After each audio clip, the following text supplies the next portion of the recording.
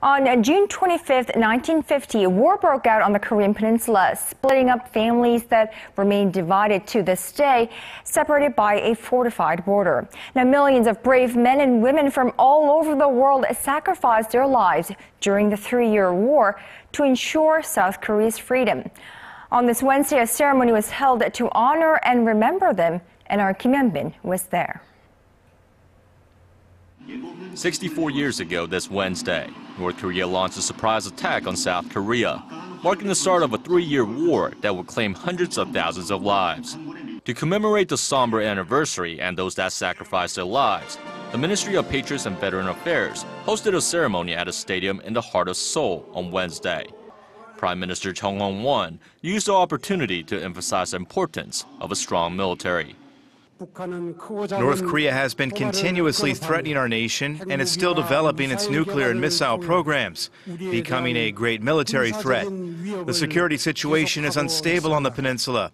We acknowledge the situation and will prevent a recurrence of the tragedy that was the Korean War.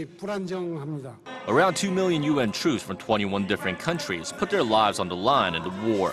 Some returned for Wednesday's ceremony and said they were pleasantly surprised to see how much Korea has developed over the past six decades. Uh, I look at it now and uh, I just can't believe it. You know, in 60, 64 years, you know, to, to look and see what you people have done with the freedom that you won.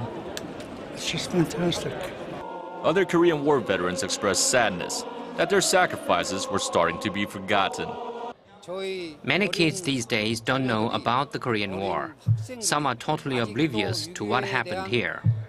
Our government needs to do a better job teaching our history. Hundreds of thousands of patriots lost their lives to make Korea a free country.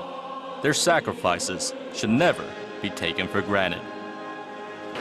This ceremony not only pays tribute to veterans of the Korean War, it's also a time to remember the hard work South Korean soldiers do today to ensure our freedom.